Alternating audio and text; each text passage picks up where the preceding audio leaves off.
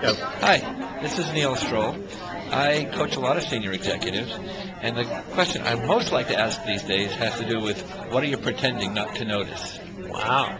Thank you. Hi, my name is Ray Ringel, and I'm an executive coach for executives and senior managers in both corporate and nonprofit sector.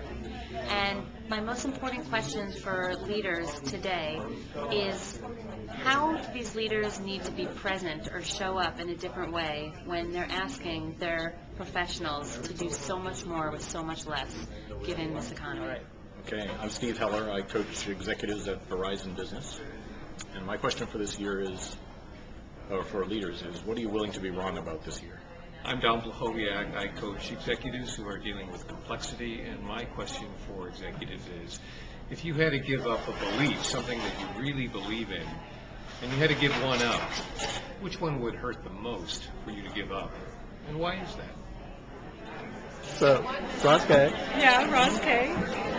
and the kind of people you coach. the kind of people I coach are CEOs and um, emerging leaders. Okay, great. And what's your most pressing, urgent question for leaders this year? Um, right now, the most important question for me is, what is the truth? What is the truth? Hi, I'm Ellen Fulton, and I work with individuals who want to look at their leadership presence and their strategic thinking. And my question is, what percentage of the day do you spend in activities that are aligned with your passion? Scott, I'm Lou Rumford. I coach a variety of different people. I don't know they fall into one category, but I think for all of them, the simple question is how much is your is your leadership ability reliant on the power you wield?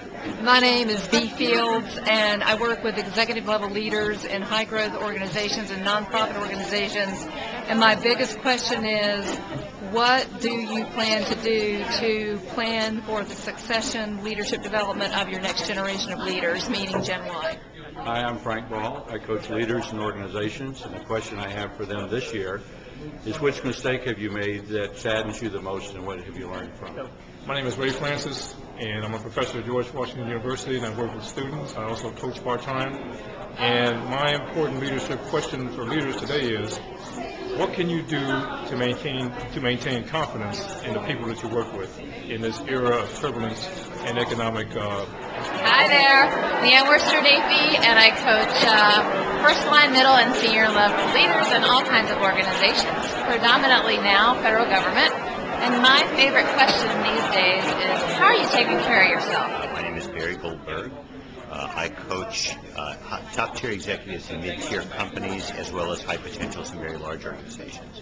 And the, cus- the question that I'm asking most of my leaders right now is what do you have to learn and what do you have to unlearn in order to lead to a different? Hi. My name is Brad Sturl, and I coach uh, leaders in organizations, mostly for uh, companies. And the question I'm asking people today is, who are you developing? And I ask that question because how are you sustaining the next level down behind you to ensure that the organization can move ahead in the future? I'm Lori Ermy, and I coach executives and emerging leaders. And one of the questions I like to ask when they're not quite sure uh, where to go is, what what are they saying about it that you don't want to